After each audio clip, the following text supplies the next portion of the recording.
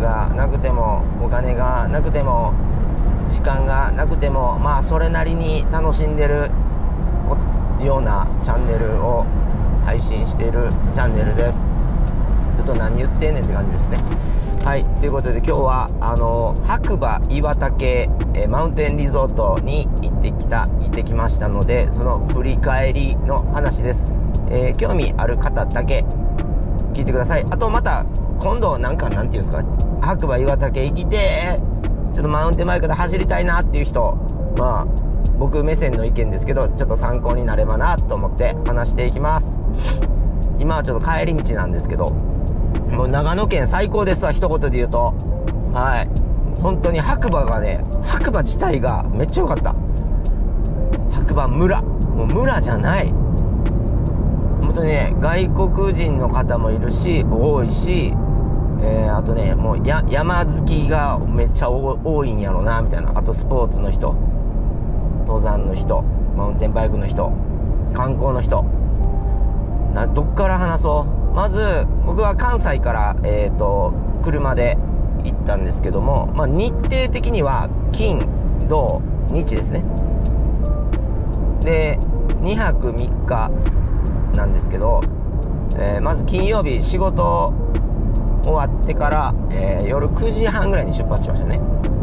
で何時間かな。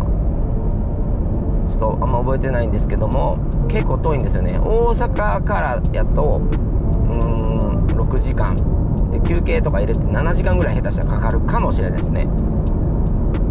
でで休憩とか入れて到着したのが夜深夜の3時半頃ですかね。その白馬岩岳の駐車場。で多分みんな皆さん車で行ったらこう初めて行く人やったらこう白馬岩岳っていう門が出てくるんですよ。そこの左手にある駐車場に車止めました。多分そこで正解だと思います。で星が綺麗でしたね。であとで、まあ、車の中で車中泊してで翌朝走ってきたわけですけど。でねマウンテンバイクのそのゴンドラが動くのが9時からです。9時。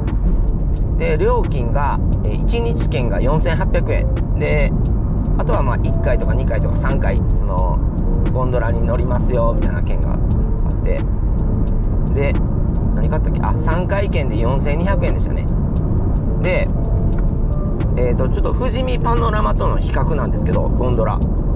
大体ね8分ぐらいでしたね。ちょっとずれてたごめんなさい。富士見が15分ぐらいでしたかねゴンドラ。富士見パノラマのマウンテンバイクのゴンドラは。なので半分ぐらいですね。結構でめちゃ速くてであとえっとねマウンテンバイクを富士見パノラマやったらそのゴンドラの中にマウンテンバイクを乗せ自分で乗せるんですねこうガンって。で白馬岩岳は、えー、スタッフの方係員の方が、えー、ゴンドラの横にこうつけるというとこあるんです。こうやってもらいます。でゴンドラからの景色も非常に良くてでまあわりかし早くすぐ山頂に着きます。で山頂にその食べるとこもいっぱいあってそのカフェだったり食堂だったり、えー、で出店のような感じですね。あとまあご当地もののものもやっぱそこでしか飲めへんとか食べへん食べられへんもんがありました。で現金じゃなくてもいけます。もう全部えっ、ー、となんですか電子決済。僕はクイックペイを使ってるんですけどそのクイックペイで全部お支払い行けましたね。で山頂からの景色があのやっぱよくもどこでもそうやと思うんですけどまあよくて。でどこやったっけあれ富山の立山連峰。が望めるんですよ見えるんですよ。でもそれは後ろ立山連峰。だから富山側から見るんじゃなくて、えー、長野側から見た立山連峰なんでしょうね。もう雄大な景色が広がってます。で、えー、次走行についてなんですけどもコースが、えー、神風とあとアルプスアルパインやったかな。ごめんなさい。またホームページ見てください。で基本的にはその青色のコースをずっと走りました。でゴンドラが速いからすぐ終わっちゃうんじゃないのかなっていうそういう思いもありましたけどめっちゃ長いっす下り。本当に。でバリエーションが飛んでてすごく。まずまあバームっていうんですかあれ。スラロームっていうんですかね。それの連続。と思いきやちょっと里山テイストが入った細い道。でそのマウンテンバイクのコースを管理されてる方のちょっと遊び心やと思うんですけど僕は今あの10月後半に、えー、遊ばしてもらったんですけどあのハロウィンの感じ。でコース上にこう怖いお面とかがあってうわーってマジでビビりました。それがちょっとねすごい楽しいあのスパイスの一つになったかなって感じですね。結構そういうのが心遣いというか遊び心もあるコースでした。でなんやろ。は下るのに何分かかったやろ。まあ僕そんなスピード皆さんのようにバンバンこうガンガンいけるタイプではないので何分やろな。体感がちょっと分かんないですね。分からんな。20分30分ぐらい。であの膝膝じゃない。太ももか。めちゃめちゃそのスラロームでやっぱちょっと足に体重とかかけるんで筋肉痛になってます。すごい面白いです。面白いですっていうか。で、えー、下に下るとまたまあリフトに上がるんですけど。で駐車場まで全然すぐ行けるんでまあ荷物とか置いといても何ていうんですか？車まですぐ取りに行けるんで。全然 OK ですね。でまた上がって8分ほどで。っていうのの繰り返しですね。で山の天気なんで結構天候変わりやすいんですよね。で雨予報だったんですけどもうんなんやろ。まあやっぱ降りましたねちょっとね。ちょっとザーって降ってですごいあのフロートレイルっていうか本当に綺麗なトレイルで。で雨降ったらちょっとねあのー、光降り始めがやっぱ滑りますねおそらく。めちゃす滑るな滑るかもみたいな。なのでそこは注意ですね。まあそこもねあのー、楽しみの一つだと思います。あとなんか伝えとくことあるかな。なんやろ。ああでできたら1泊した方がいいかなと思いました。あのー、その白馬村自体がすごく良くて何があったっけな。まずお蕎麦屋さんがめっちゃ多かった印象です。ここにもあるここにもあるここにもある。ああすごいなみたいなでガストもあるみたいななんか。なんでガストやねんみたいな。でスーパーもあのイオンビッグっていうのがあってそこでお土産とかも買っても OK ですね。でご当地のお酒ビールなり。でおすすめは白馬 IPA ってやつ。めちゃ美味しかったです。あれちょっと飲んでみてください。瓶に入ったやつなんですけど。白馬 IPA あれ美味しかったなマジで。飲んでる間すごい幸せでした。で白馬村はちょっと周りからすると長野県の周りからするとやっぱりちょっと気温が低かったですね。で下調べなしで高速で行ってまあ途中から安曇野市から一般道でバーって行く感じです。でその行く時の感じの周りの景色もすごくいいと思います。僕は夜やったんでちょっと味わえてないですけど。そんな感じですね。でお蕎麦はえー、なんていうかそばそばの神って書いてそば人。そこすごい美味しかったです。まず最初になんかあざみっていうそのなんかお漬物みたいなの出てくるんですけどそれも美味しかったです。それぜひそば人行ってみてください。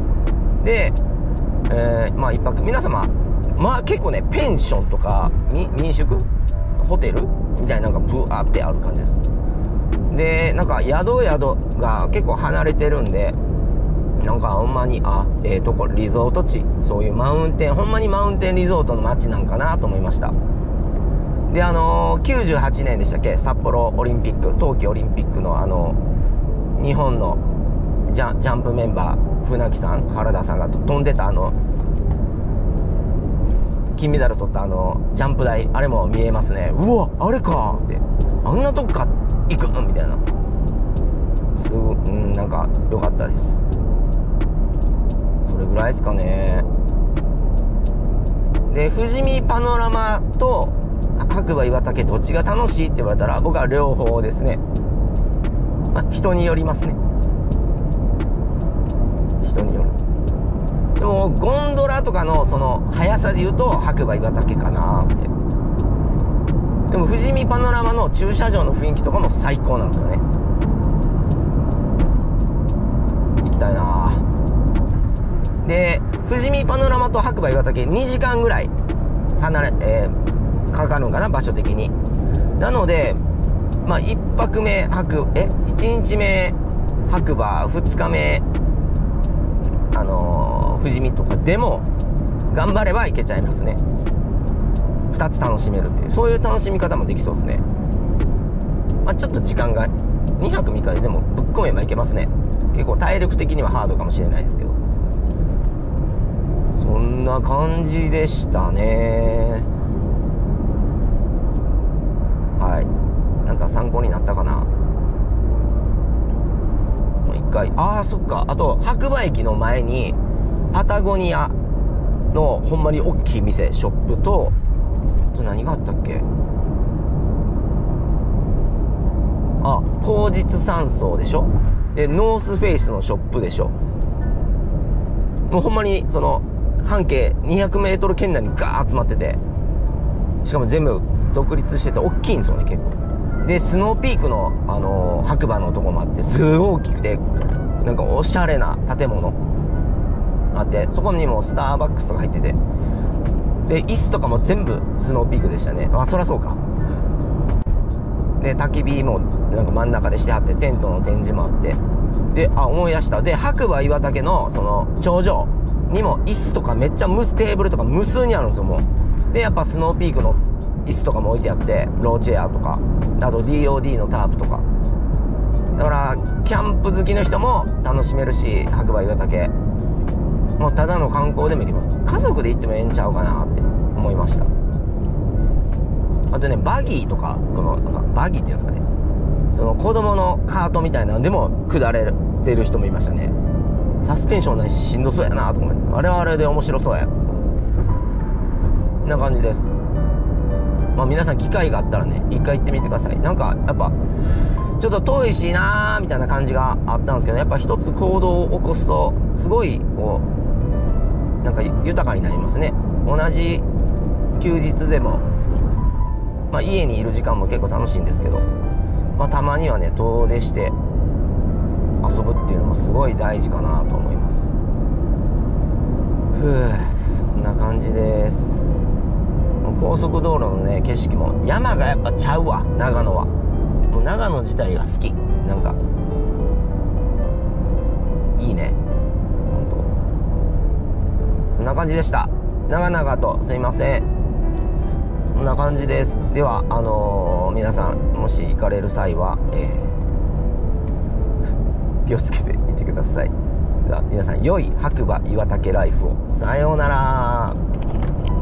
では白馬岩岳。あのなんかあのコースめ長い長いんですけどダウンヒル。あのそのなんちょっとずつにそのここで休憩する場所だよみたいなマウンテンバイク自転車置いてみたいな。まあ速い人もいたり遅い人もいたりするんでまあみんなに合わせて。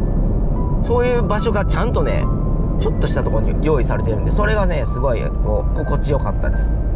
なんか安心できるというか手とかも足とかも疲れるんでね。はい以上です。